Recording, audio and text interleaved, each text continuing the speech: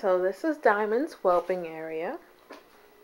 We decided on baby crates because we can make it bigger if needed or we can shrink it. Okay, Diamond.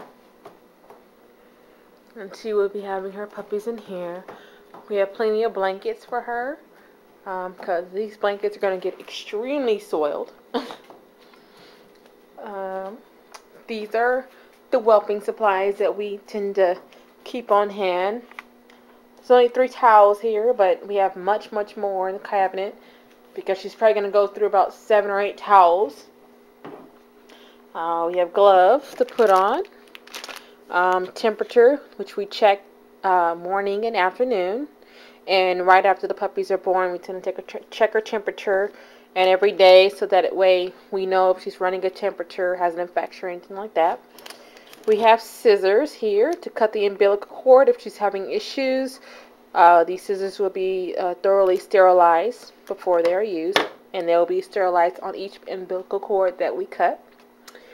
We have floss here, which is the best to use um, to tie off the umbilical cord from mother to um, puppy.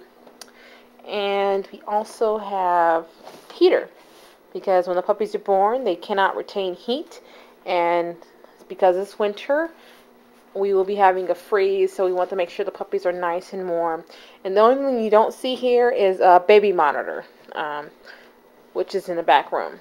We have a baby monitor to monitor puppy cries or if she lays on a puppy you'll be able to hear it. And so here's Diamond.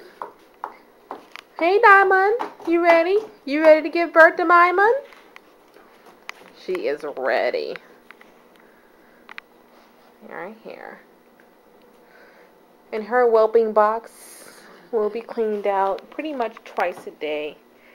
Um, the puppies need to remain clean, so we'll do we'll be doing a lot of laundry. And her last litter was about 12 puppies. We had one angel, so we had 11 live puppies.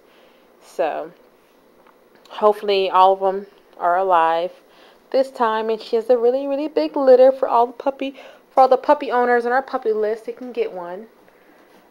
Alright, that's it. Uh, hopefully, in the next, uh, I would say, three to seven days, she should have her puppies.